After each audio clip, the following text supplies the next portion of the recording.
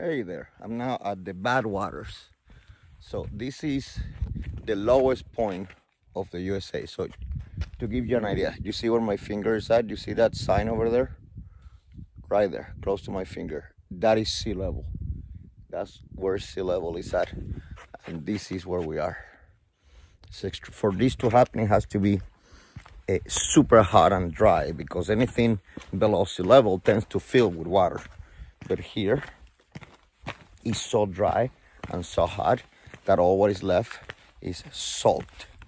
So I'm right now on the way of what they call the bad waters.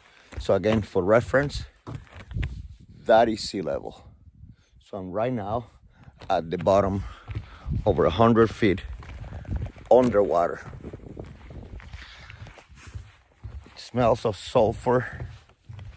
And once again, I'm chasing the sun or actually is 282 feet below sea level. See there, right there. The Badwater Basin, 282 feet below sea level. Oh my holy crap. Look at it. I'm gonna walk a little bit on the salt.